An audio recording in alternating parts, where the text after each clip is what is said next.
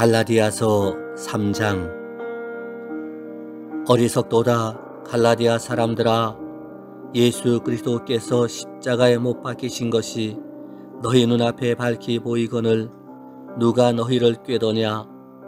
내가 너희에게서 다만 이것을 알려 하노니 너희가 성령을 받은 것이 율법의 행위로냐? 혹은 듣고 믿음으로냐? 너희가 이같이 어리석으냐 성령으로 시작하였다가 이제는 육체로 마치겠느냐? 너희가 이같이 많은 괴로움을 헛되이 받았느냐? 과연 헛되냐? 너희에게 성령을 주시고 너희 가운데에서 능력을 행하시는 이의 일이 율법의 행위에서냐 혹은 듣고 믿음에서냐?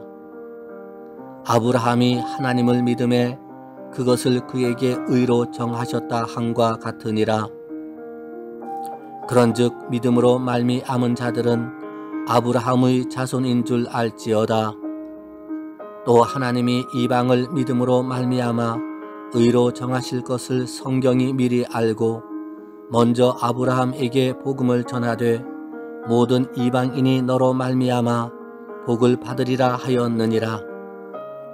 그러므로 믿음으로 말미암은 자는 믿음이 있는 아브라함과 함께 복을 받느니라.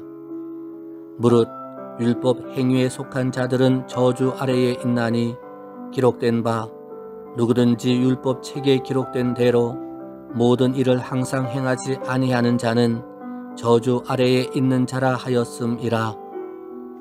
또 하나님 앞에서 아무도 율법으로 말미암아 의롭게 되지 못할 것이 분명하니 이는 의인은 믿음으로 살리라 하였음이라.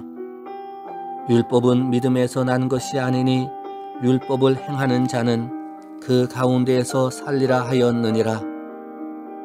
그리스도께서 우리를 위하여 저주를 받은 바 되사 율법의 저주에서 우리를 속량하셨으니 기록된 바 나무에 달린 자마다 저주 아래에 있는 자라 하였음이라. 이는 그리스도 예수 안에서 아브라함의 복이 이방인에게 미치게 하고 또 우리로 하여금 믿음으로 말미암아 성령의 약속을 받게 하려 함이라.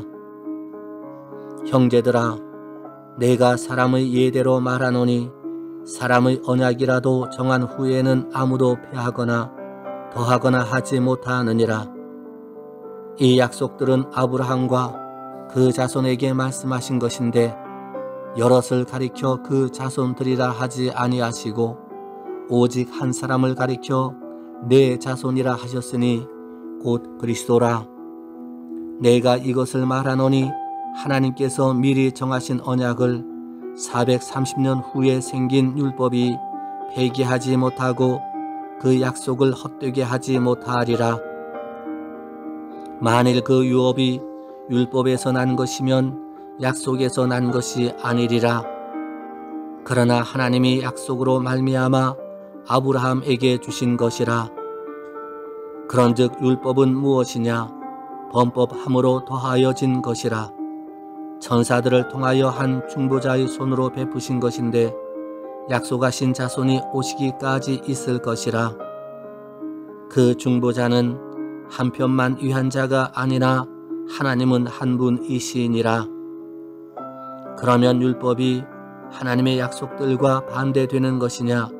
결코 그럴 수 없느니라. 만일 능히 살게 하는 율법을 주셨더라면 의가 반드시 율법으로 말미암아 쓰리라. 그러나 성경이 모든 것을 죄 아래에 가두었으니 이는 예수 그리스도를 믿음으로 말미암는 약속을 믿는 자들에게 주려 함이라. 믿음이 오기 전에 우리는 율법 아래에 메인 바 되고 계시될 믿음의 때까지 갇혔느니라. 이같이 율법이 우리를 그리스도께로 인도하는 초등교사가 되어 우리로 하여금 믿음으로 말미암아 의롭다 함을 얻게 하려 함이라. 믿음이 온 후로는 우리가 초등교사 아래에 있지 아니하도다. 너희가 다 믿음으로 말미암아 그리스도 예수 안에서 하나님의 아들이 되었으니 누구든지 그리스도와 합하기 위하여 침례를 받은 자는 그리스도로 옷 입었느니라. 너희는 유대인이나 헬라인이나 종이나 자유인이나 남자나 여자나 다 그리스도 예수 안에서 하나이니라. 너희가 그리스도의 것이면 곧 아브라함의 자손이요 약속대로 유업을 이을 자니라.